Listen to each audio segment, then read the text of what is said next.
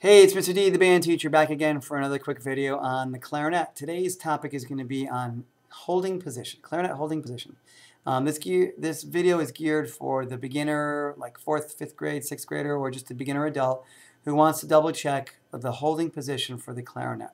So we're going to go over left hand and right hand um, position, and then I'm going to slide the chair back a little bit and show you kind of where um, the clarinet needs to be in a normal playing situation. So the first thing we want to do is identify um, the lower right thumb hook. This is where your right hand's going to go under. And up top it's going to be the um, what we call the left thumb key. All right, and above that is the register key. Okay, and again, um, this is geared really for the beginner. So what you're going to do first is you're going to take your uh, right thumb and you're going to put it under the thumb hook. Now I like to keep it just on this um, flat piece right here where my index finger is banging against. All right, I like to keep it right in there, hold it right there.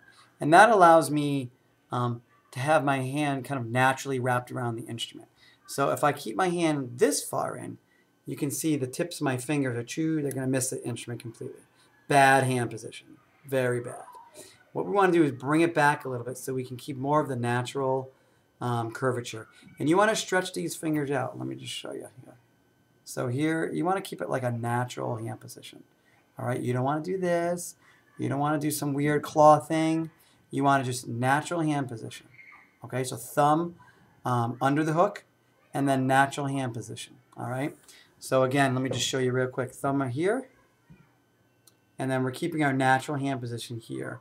And we're going we're going to be lightly pressing first, second, and third. And we want to use the squishy part of our fingers, the fatty part here, not the tips. Because if we do tip, you can see right here, I'll hold up close. Let me just turn it this way. I'm not covering the hole completely. Not good. We're going to get some bad sound here. We want to use the squishy part of your finger and form the seal. All right? So when your finger presses like these bottom keys, you're pressing the ring. And if you look carefully in your instrument, it's hard to see in my camera. Um, it's actually um, it goes over a hole essentially. And what you want to do is press the um, the ring and form a seal over the hole. Okay, you do the same thing with your middle uh, middle finger and your third finger. And again, notice I'm keeping a natural hand position here. Um, my wrist is pretty much naturally set. The weight of the instrument, however, is on, you can see my hand, I'm not even pressing it, is on um, the right thumb.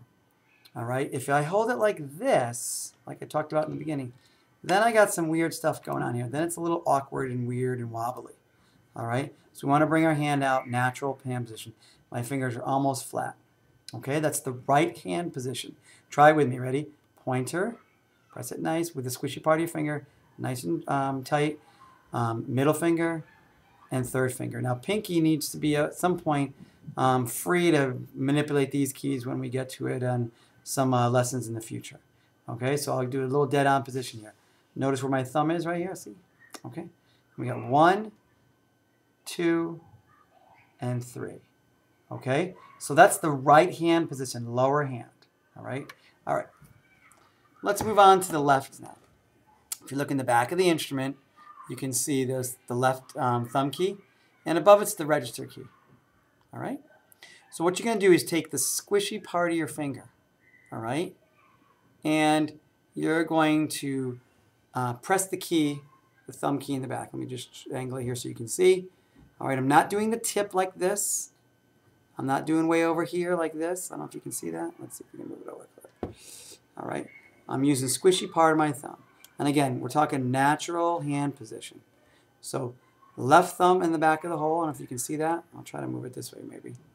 All right, left thumb. And then we're wrapping around the uh, first open key. Okay, first open key first, middle, and the third one doesn't have a ring. All the other ones have this ring here. All right, so third, two, and three, and then thumb in the back. All right, and again, it's natural hand position. Pinky, like the other hand, is free to move around. All right, so thumb in the back, pointer in middle. I got a little game that I have my kids do, which is I'm going to do um, left thumb, pointer, middle, third, and then right thumb under the hook, okay? Pointer, middle, third, and I'm going to press real tight. All right, do it. Press it real tight. Count to three. One, two, three. Now I'm going to show you. Look at my fingers. I don't know if you can see that. See those rings? That's kind of sort of where you need to be as a beginner. As you get more advanced, of course, you get to manipulate your hands and, and look for that special spot. But for right now, see those rings? You need to be in the squishy part of your fingers. I don't know if my other hand can do it. Yeah, they're barely there. Get the idea? So we got thumb on the back, thumb below. One, two, three, one, um, two, three. Everything is natural hand position. Okay? Now let's quick move back. I'm going to move the chair back and I'm going to show you the, um, the playing position for a typical beginner student. So what we want to do is when we're holding the clarinet, we want to hold it so that the bell is just about where our knees are. We're not holding it close to our body like this. We're not holding it like this, like a trumpet. Again, natural hand position. Fingers are naturally placed, and it's pretty much about where our knees are. The bell is kind of like right about a little bit, maybe above my knees, okay?